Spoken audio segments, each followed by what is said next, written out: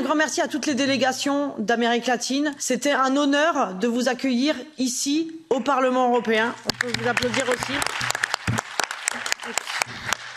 Alors vous savez, moi je suis euh, élu de la France insoumise et l'Amérique latine a été une source d'inspiration pour Jean-Luc Mélenchon et pour la France insoumise à la base de la création de la France insoumise. Et vous voir ici aujourd'hui, ça nous donne énormément, énormément de force. Et je pense que de voir les délégations d'Amérique latine, ça donne de la force à tous les pays, à tous les membres de notre grande famille politique en Europe. Vous avez pris le pouvoir avec nous, avec Jean-Luc Mélenchon en France, nous étions aux portes du pouvoir.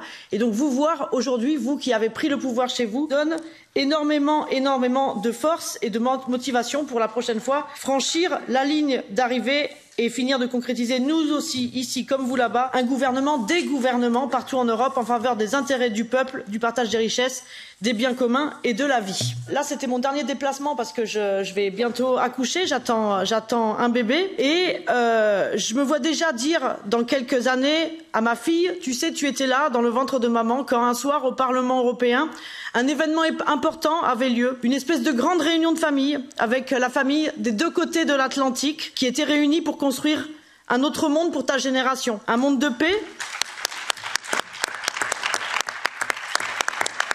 un monde de paix, un monde où les peuples sont souverains, un monde de l'harmonie entre les êtres humains et la nature, le monde de la vie.